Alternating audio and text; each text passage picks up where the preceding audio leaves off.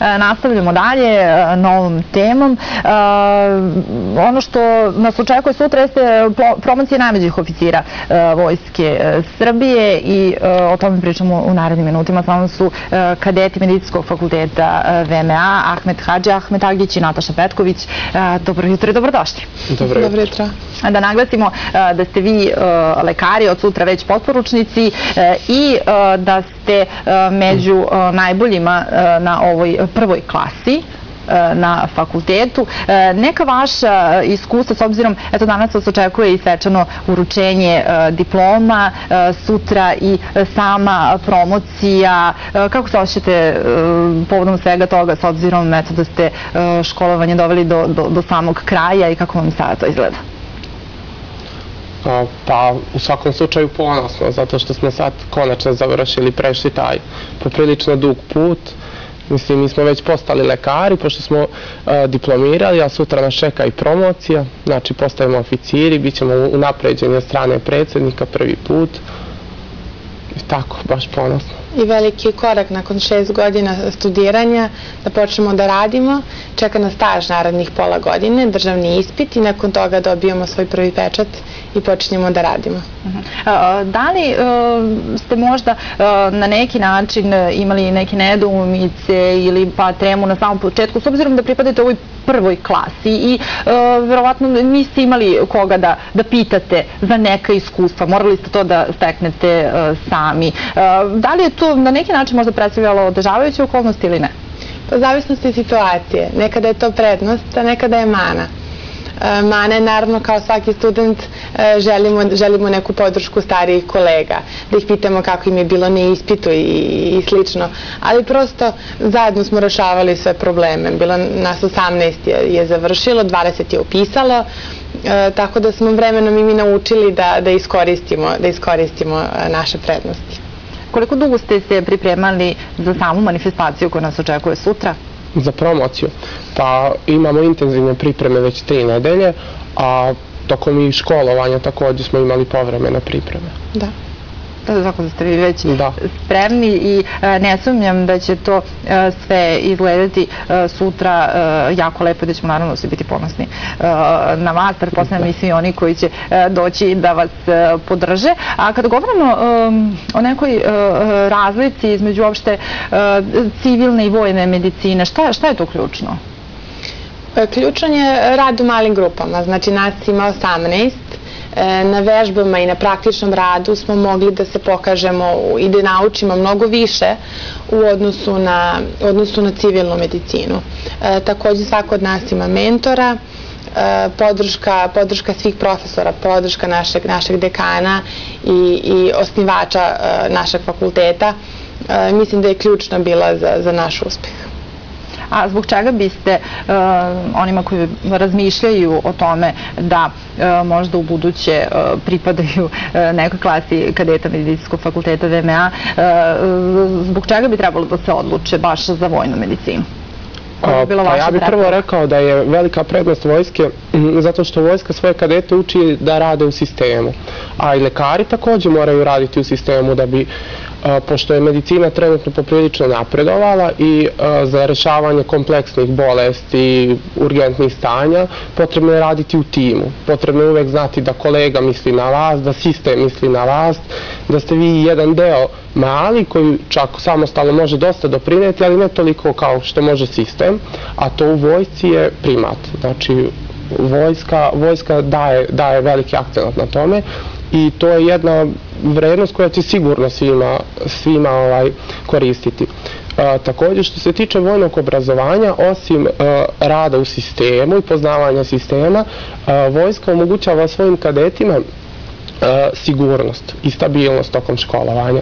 Mislim, za svakog od nas školovanje je poprilično veliki izazov. Ne samo da naučimo stručna znanja, već e, da kao i mi, kao i ljudi sazremo i da te neke sitne probleme, nedoumice, ne, možda neke porodične tegobe rešavamo na nekim stabilnim osnovama, da nemamo čak ni nekih dodatnih problema oko školovanja, promenljivih uslova, Vojska je stabilan sistem i stabilno obrazovanje i uvek imate tu neku uzlaznu liniju.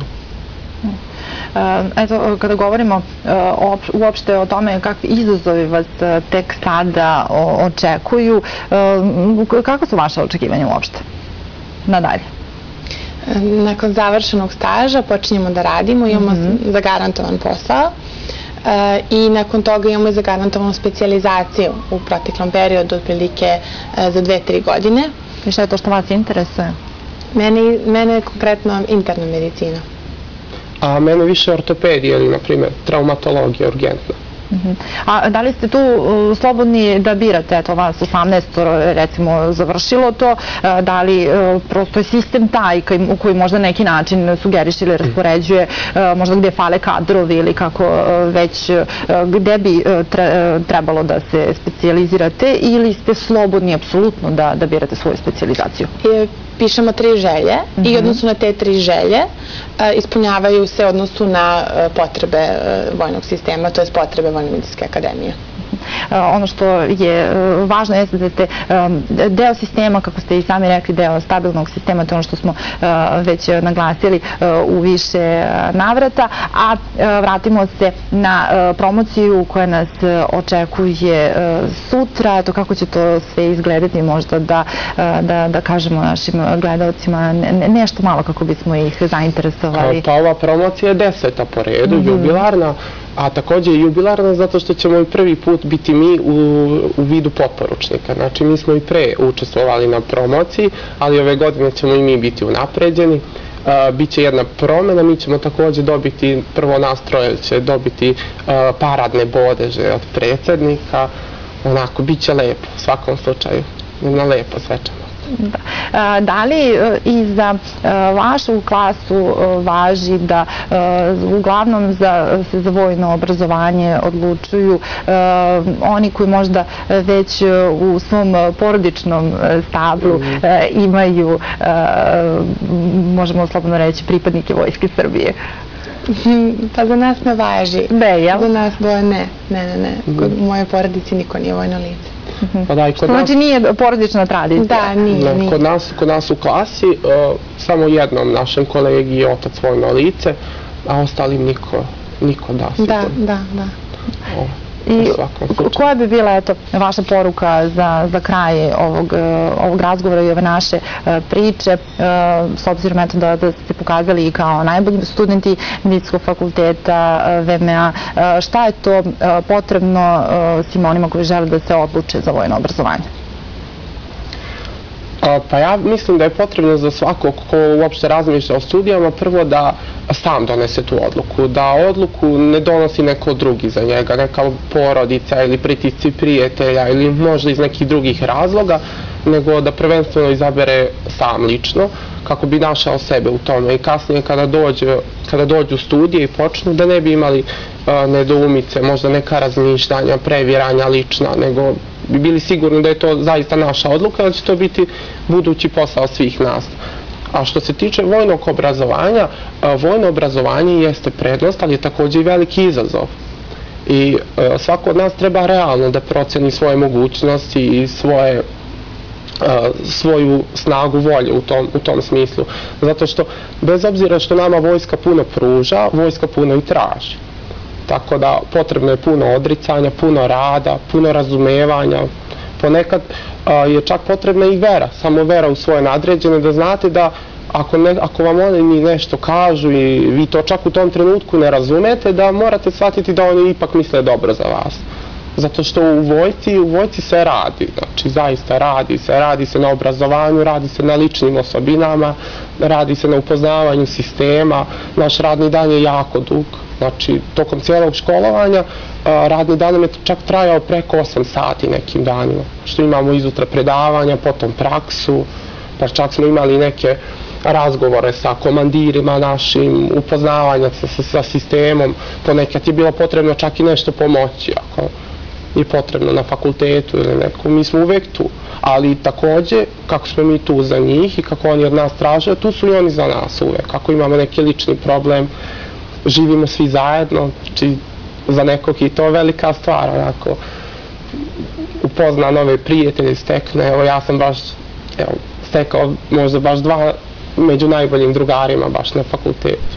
Tako da a možemo slobodno reći s obzirom da, da, da vas je 18 ili 20 koliko bilo u jednom da. trenutku da, da ste uh, stvarno uh, to doživljavali kao svoju porodicu. Jeste, mi da, smo jedna velika porodica, da. Svi smo se upoznali, putovali jedni kod drugih u mesta, upoznali smo eto celu Srbiju, tako to je zaista uh, možda i najlepša poruka uh, za kraj, a ja ne sumnjam da će vam sutrašnja promocija ostati u najlepšem sećanju i ja vam eto, u ovom trenutku i čestitam jer imam priliku uh, da to uradim i naravno da vam se zahvalim što ste bili danas sa nama. Hvala vam što ste nas pozvali. A zbog svečanosti promocije najmeđih oficira Vojske Srbije u centru grada će doći do izmena u režimu saobraćaja i do zatvaranja pojedinih ulica danas od 19.30 do 22 e, sata i 30 minuta i na dan svečanosti sutra od 16.30 do 20.30. E, za saobraćaj će biti zatvorene sledeće ulice, Trg Nikole Pašića do Terazija, Dečanska, od raskrsnice sa Nušićevom do Trga Nikole Pašića, Takovska od ugla sa Kosovskom do Bulevara Kralja Aleksandra, Bulevar Kralja Aleksandra od Trga Nikole Pašića do Resavske i ulica Kneza Miloša od Bulevara Kralja Aleksandra do raskrsnice sa ulicom Kralja Milana. Mi ćemo još jednom e, za kraj e, pogledati e, promotivni spot promocije najmeđih oficira Vojske Srbije. Da ponovimo još jednom svečanost povodom promocije biće održana sutra ispred Doma Narodne skupštine u 17 časova i 30 minuta. Svečana promocija najmlađih oficira Vojske Srbije.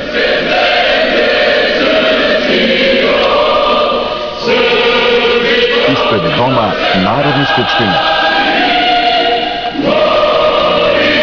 Subota, 12. septembar, u 17.30.